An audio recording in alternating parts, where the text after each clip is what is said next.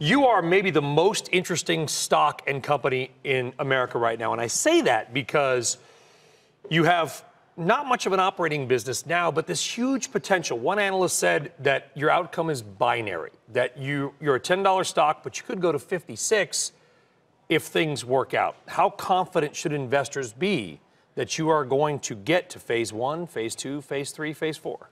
Totally confident, of course. We're about a three year old company. Um, we are about two, bill- two and a half billion dollars of market cap today, but we are building infrastructure projects that'll be about a $30 billion investment. So we're growing the company uh, tremendously, and all we have to do is finish our permits and start construction, and that'll happen this year. Okay, well, are you confident the government's going to be able to get the permitting process done? Yes, in fact, we're almost finished. We finished all of our environmental work uh, in January, so we're just uh, with the Federal Energy Regulatory Commission uh, going to a vote. So the stuff you're building, Driftwood liquefied natural gas facility in Louisiana, the pipeline, those are all big, big, big projects that cost a lot of money. So most of your money right now is borrowed. You just got an investment from French oil giant Total. But should investors be worried about your cash burn rate? Not at all. So, uh, all of our investments today have been equity investments from strategic partners. Uh, you mentioned Total, the French energy major. Uh, came in very early, bought into a change in the business model for developing LNG projects. We're doing this on an integrated basis. So we'll produce gas, build pipelines, and build export terminals.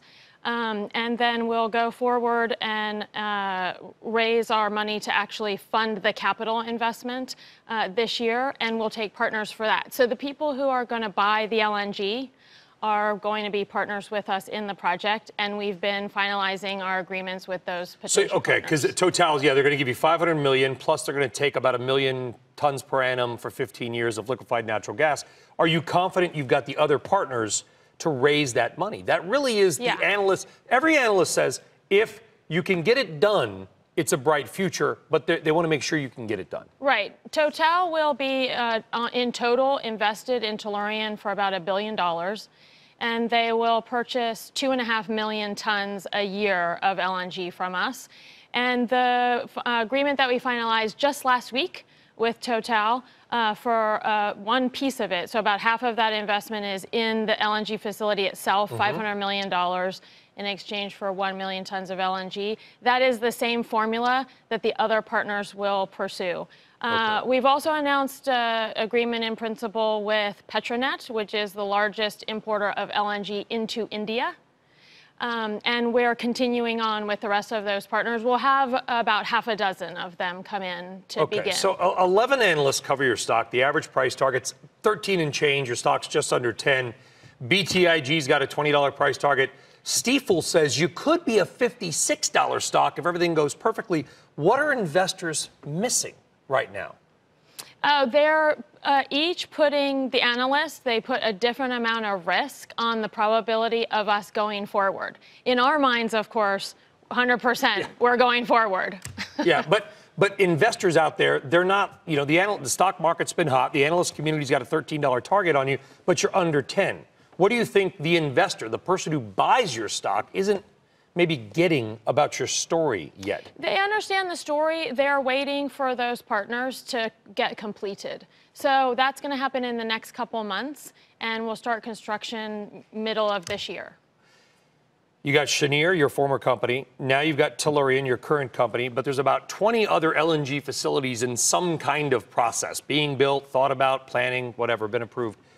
At what point is there no longer a first mover advantage? Is there is there is there is there something of too much of a good thing, or, or do we need 20 to 22 LNG terminals in the United States? Yeah, in fact, I always tell people however much you expect can actually get built, because you're right, not every project that's going through permitting um, will be able to get built. It, we have to have the right kind of acreage, the right engineering, procurement, and construction plan, the right partners in the project. It, it's actually hard to get these projects to the finish line, but we need everything that can happen because we're continuing to grow natural gas production in this country simply because we're drilling for oil.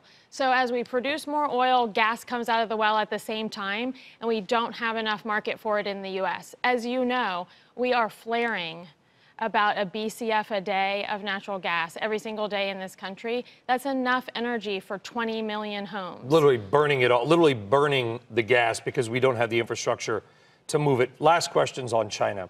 China would like to have its own energy business, and they've been kind of poking around. Do you expect that Chinese LNG demand will be strong for 10, 20, 30 years? Absolutely. In fact, it's been growing at 30% a year. So China will become the largest importer of LNG in the world, about 100 million tons. Compared to today, Japan is the largest at about 70 or 80 million tons. And there are very, you know, these are very large and growing markets. India, I would say, mm-hmm. also will be over a 70 million ton market. And as you know, Brian, pollution in some of those urban areas in these Asian countries is extreme. So we are really bringing natural gas for clean air, clean air uh, for countries all over the world. Meg Gentle, President and CEO of Tellurian. Appreciate you coming on CNBC and Worldwide Exchange. Thank, you for very having much. me. Have It's a a day. pleasure. Thank you. Thank you.